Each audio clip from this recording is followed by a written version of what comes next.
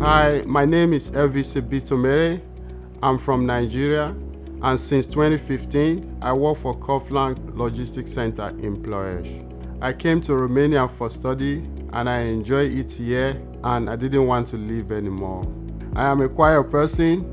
I enjoy spending time with my friends, playing snookers and watching football. My favorite football team is FC Barcelona.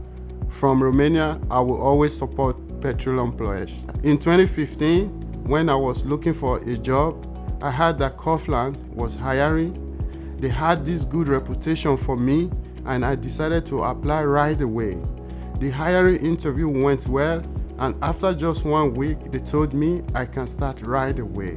My job at the logistics center is to receive the goods from the suppliers and prepare them to be loaded and transported towards all the Kaufland store all over Romania. I need to pay a lot of attention when working mainly because I am taking all the safety regulation very seriously. I am happy living in Romania. I am proud to be working for so many years at Kaufland, the place where I feel appreciated and respected.